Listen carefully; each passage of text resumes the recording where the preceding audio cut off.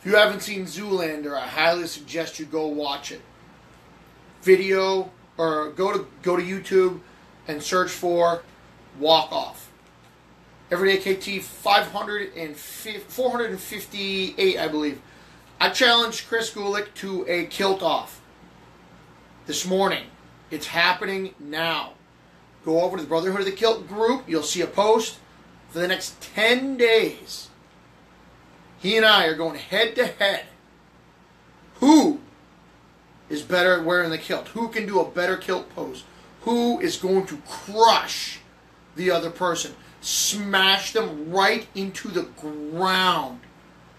I'm pretty confident that day one, I got it in the bag. I mean, he, he shows up, something uh, interesting, and I'm like, boom, knocked out of the park.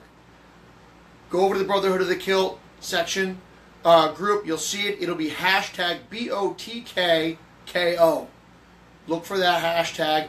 You'll see what we're talking about. After 10 days, my good friend Nathan is going to uh, announce the winner. It's going to be brutal. It's going to be crazy. It's going to be insane. Because today was leather kilts. That's day one. Where the hell do you go from there? I don't know. We'll find out. So go check it out. Go over.